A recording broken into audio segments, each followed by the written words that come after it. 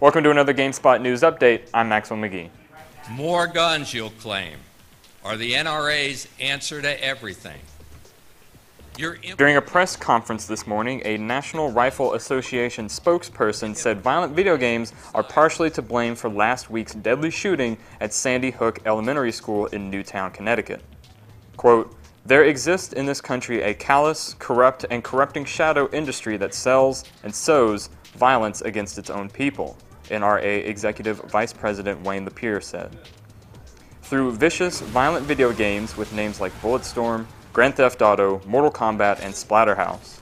And here's one. It's called Kindergarten Killers. It's been online for 10 years. How come my research department could find it, and all of yours either couldn't or didn't want anyone to know you had found it?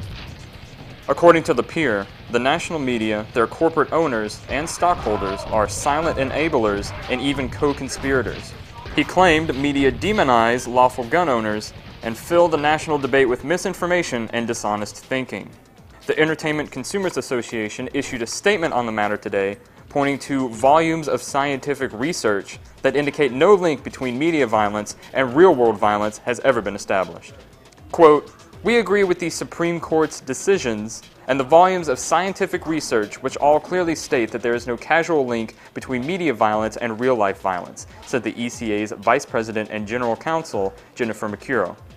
As we are all learning increasingly through the news, this is a situation of the perpetrator's mental disorders and his family's inability to adequately deal with them in time.